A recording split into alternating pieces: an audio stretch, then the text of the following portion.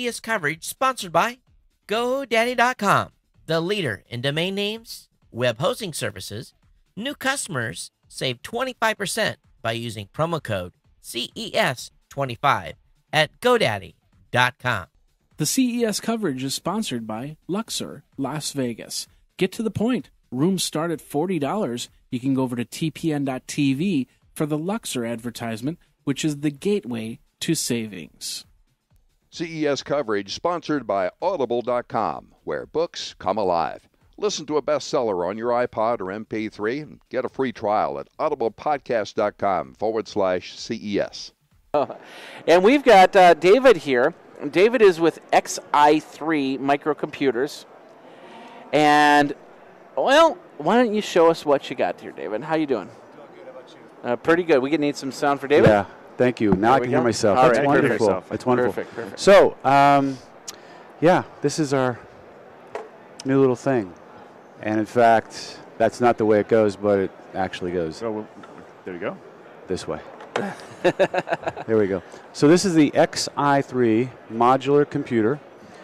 And it, uh, so we're on, which, Where's which one's hot? Uh, that's We the overhead. We're hot here. So Yeah. let me turn it this way so you can see actually can a little bit of the side. Got it. right-hand Thank you. Now I, got, I see where we are. All right. So it's the XI3 modular computer, and we believe that this is the smallest, most powerful, and most green computer you'll find on the planet, let alone here at CES. Okay. How is it the most green? Well, among other things, it only operates on 20 watts of power, and yet it's a full-blown computer, dual-core processor with uh, Athlon x86 64-bit, running at 2 gigahertz.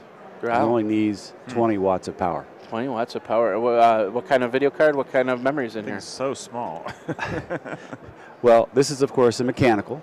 Okay. So, but what it ships standard with is two gigabytes of DDR2 RAM, uh, along with eight gigabytes of solid-state memory, and as I mentioned already, the Athlon processor. You can see on the back, and a whole chunk of uh, various connectors in the back. Yeah, we got So- the uh, we got the DVI port. We got an HDMI display. Uh, for I'm sorry, six USB ports, two eSATA ports, Yes. on X what is that XM3 X, X Media. X Media. That's It's what X it is. Media okay. port. There we go. Uh, and of course the three sound ports right there. So Right. that's right, and Ethernet. and, and, And Ethernet, Ethernet, and power. I'm That's assuming correct. is there a wireless uh, solution in here too, or Um, we can make it wireless, but of course you can get a wireless USB, and it's pretty easy to do. okay? Right? And it runs on 19 volts DC. Yes. Kind of an odd voltage. Well, um, so uh, do you want the story of where this all came from? Is it what, what would you like to do? Let's do that. Let's do that. How did how did how did it all come come to fruition? Well, it wasn't me. I mean, I'm I'm uh, I'm the marketing guy, and, Okay. and I apologize. Jason would be here, but we are absolutely slammed, and, and I'm sure yeah, I was down there. I saw the, that. the lovely ladies we have there have a little bit to do with it. More, they're seeing five foot versions of this rotating above the booth, and people are going, "What the heck is that?" And they're kind of migrating over. I think we the only time we got slow yesterday was before the show opened, and about five five thirty in the evening. Okay. So Jason Sullivan grew up in the greater Cleveland area. Closet geek. He programmed his first, uh, built his first circuit board when he was eight years old.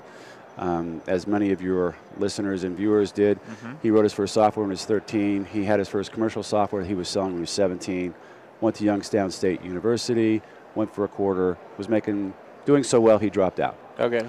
And um, he, he tells a story that what happened was is that he was in his retail store. This woman walks in. She has a tower under one arm, a kid in the other arm, another kid hanging off her leg. She kind of waddles in and throws his computer down on the desktop and says, "Why can't they make these stupid things smaller?" and he went, "Hmm." You know, light bulb went off. Went home that evening, started doing some calculations, and he said, "What would it take to compress everything that's on a motherboard down, and how much could you compress it down, and how small of a form factor could you make it into?"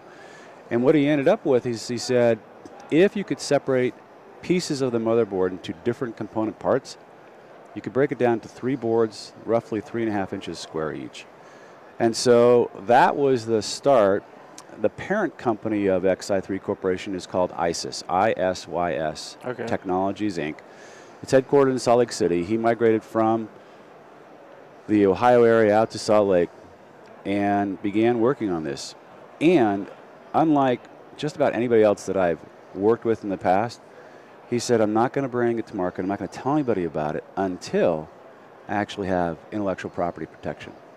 So today, ISYS Technologies, which is the property management company, intellectual property management Mhm. company, has six U.S. patents issued today and has intellectual property of trademarks and trade secrets and copyrights and patents pending and all of that in over 100 countries worldwide. And um, what I've been working with them as an outside consultant, applied for them in their behalf to win an innovations award, which they did in the computer hardware category. We went to the official CEA press reception in New York City, and all heck broke loose. If you had searched for XI3 in modular or XI3 in computer before that press reception on November 9th, you would have come up with maybe a dozen results. Okay. You couldn't just search for XI3 because there's actually a fly rod out there and a, a cigar trimmer called XI3 for gosh sakes. But XI3 modular, XI3 computer, today there's over a million results worldwide. And that's in literally in three weeks. So And that's no cigar trimmer. uh, no, and it's not a very limber fly rod either. Exactly. So what we have then is we've taken that motherboard, broken it down to three parts, and in fact, So is this actually a working device? this is a this is actually a you- mock-up, oh, but it you- is working. We have it working in our booth. But what I brought here is one that I could show your viewers how it actually fits Yeah, together. And what's amazing is just the empty space in this thing. right. You know, it's not not like it's totally packed in with all these. It has like four boards on. Let's uh, let's get it close up here. We'll tip it a little bit so you guys can kind of see the inside here. Um, well, that's probably a better view. that's probably the best view right there. I'm assuming that's the processor in the back. It's processor socket there in the back. That's correct. And if you'll let me do this, we call it the XI3 modular computer because it's modular in a couple of ways. One is that you can stack multiple computers together, multiple devices together, but also because the motherboard, as I mentioned, has been broken down in three pieces. So literally, I can take this board apart, Wow. I can take this board off, and now I've really taken that motherboard and broken it into three component parts. Oh my Okay. goodness. so, why would you do that? Well, you do it for, let me give you a real world example, right? So, as you and your, your viewers and listeners will know, your fans will know, um, USB 3.0 is coming, Right. right? And so, you know, it was approved over a year ago, but I suspect in 2011, 2012, we'll see a whole chunk of USB 3.0 devices, computers, external devices, and the like. Well, there's literally hundreds of computers out there today that have USB 2.0. Right. And you What can't upgrade happens? them. Exactly. What happens to those computers when USB 3.0 really gets here? They're all out of luck. Not da, da, da, da, if you actually have an XI3 modular computer, because literally, you slide this puppy out of the chassis. And replace the module. Your FedEx guy or gal or UPS guy or gal shows up, hands you the new board. You hand them back the old board. Wow. you literally drop it into place, click it in like that, line up the cards and drop it in, and then screw the honeycomb chrome plated side on into place, Mm-hmm. plug it back in, and you're back in business. And so now what you've done is a couple of things. One is you really do have an upgradable, updatable, and modifiable computer, but you've also extended the life of that computer unlike anything else that's on the planet today. And one of the biggest problems we have with technology today is the fact that it's a disposable society. So if I asked, uh, for those that are geeky, the answer is, well, six months. But for most people, a three to four year window is what you're looking at Yep. for how long you keep your computer. Yep. Well, now by being able to literally replace these cards, the personality, if you will, to update it and upgrade it and modify it, you potentially have extended the life of that computer not to three to four years, but to seven to ten years. You've crushed way down the amount of e-waste going out to the environment. Plus, it's of course extremely green at 20 watts of power, and your pocketbook feels a lot better as well yeah. because to get one of these new cards is going to be 50 to 100 dollars. So we'll make them. We'll license the technology to other companies. They can make them as well. They can make you know specialized cards for various applications or Mhm. for industrial uh, performance, whatever they want to do. Now we've changed everything. So it's crazy. We think we're going to change the world, but I'll stop talking because I could just keep going. And I, Well, I'm uh, being an IT uh, IT person for such a long time. I, I'm I'm very impressed with a box like that. And when I first saw it, I was salivation just off off the beard. I had to wipe it down and Well, everything. just the size of it too for a home. the system. size, the the ability to uh, to module to, to get to put in a new module just like that. The ability. I'm assuming that uh, the repair system, if if somebody has a problem, the same thing will happen. They'll be able to pull it apart, as opposed to taking out uh, screws, lifting up a case, trying to figure out where to put the case, uh, having the, the doors fall down. Um, worrying about memory, worrying about what's where, and all these little cables and stuff like that. There's Yeah. no cables in that one. No. no No, cables at all. no cables internally. It's all solid state. And um, so back to specs again. Yeah. What are the specs for this thing? Two, um, so it's dual core processor, Athlon AMD2, uh, running 64 bits, uh, 2 gigahertz.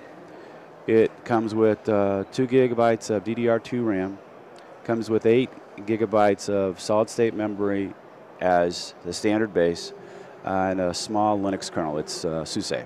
Okay. Okay. And for dual core processor machine like this, all modular, that retails for 849. Okay. General availability will be at the end of the first quarter, but So this is for eight, eight gigabyte storage. eight gigabytes of storage Okay. initially. Internally, you can bump that up to 128 gigs today. Of course, as the, you know, thank you Moore, um, Rod, you know, so Yeah. not Roger Moore. That's a Gordon Moore. Moore's law. Moore, yeah. Different Moore. Yes, yes. Moore's law continues to provide us with its benefits. You'll be able to fit more and more in there in an SSD format. Externally, you can put anything on there you want, and as we've already shown your fans, I mean, you literally have all sorts of different ways to connect that together. Yeah. And um, As And- far as operating systems that it supports. um, anything that'll support an x86. So, case in point, you can put Windows 7 Ultimate on this, and it'll boot in less than 30 seconds. which is the nice thing. Yeah, about oh, Yeah, solid like state. my heavens! I mean, if I have to sit there and wait another second Yeah. to see Windows boot, I think I Yeah. want to kill myself. Yep. So, So you could Um, run this thing with the operating system on the uh, solid state drive, could- and then actually had a hard drive plugged into the back of it, and then use it for all your Exactly. So you can have your own hard drive if you wish, and and you know some some people, particularly the the more technical people out there, will say, well, you know, I can build something that's less expensive than that. I can buy something less expensive. Mm-hmm. And my response would be, well, yeah, but not at retail, and yeah. If you got an Atom processor or an ARM, but a dual core processor, x86 running at two gigahertz, probably not. Not with this type of configuration, let alone being as beautiful as this one is. I just love the size. I mean, it just Well, and, and you know, please, you can hold and fondle all you'd like. Somebody- I somebody, on the on the uh, chat goes, "My mind is being blown right now." Oh, fantastic! We Um, we need to get going, but uh, I, I'd love to talk more about this. Is there? Do you have another module really quick you want to? real quick. This is one of the things we announced uh, here at the show. It's called the Z3ro. It's a thin client, and as a thin client, it allows you, of course, to share the processor and power here with up to three different devices, and up to 15 feet away via USB. And one of the things that's awesome about this, sorry, you want to yeah, real simple, but the guides on the top here and the channels on the bottom happen to match up with the guides on there, the channels on there, and you can't do it with this because of the sides, because that's Oh, how you lock oh, it into oh. place. But you oh. can do it right here. So Oh, okay. literally, now So if you have an attached. office, if you have an office of four computers and you don't want, yeah, you can't afford to to pay for four computers. exactly. You could put that in the middle of that of that cube area, and all of a sudden you've you have four desktop computers for simple processes like Oh. uh, uh, Exactly. uh, running a mainframe or something. like Exactly. You buy one of these cubes, the XI3 modular computer, plus three of these devices here, and your cost per seat drops to 350, and your wattage averaged over all four seats now drops to five watts per seat. Wow. and they all run off of the dual core processor here. So how do you connect between the two modules? um, that's magic. But Just uh, the it's a USB it's- cable. yeah. looks like, oh, you just so. yeah, put a ca- USB. Just And- an external cables. And how much how much is the Z3ro? Um, you wouldn't really buy that, but it's about 250. So if you buy them all as a set, Okay. one one modular computer plus three of, the, of these Z3ros, altogether $1,400, so 350 per. This same form factor is also used for external storage, and that external storage then can be up to two terabytes spinning media, and you know down there because we have spinning and we have solid state media. Mm-hmm. Awesome. So, and these are, we're just starting. Oh, yeah. We have I can't coming. wait to see what's going to happen next. I really can't. So right now the USB ports are oh. 2.0. Yes, it is, and we will of course update those and Update it as upgrade those goes and on. everything mm-hmm. when 3.0 is really nice. Where do people go to find out more information?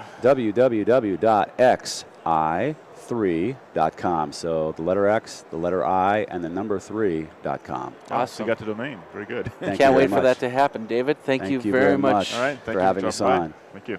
All right.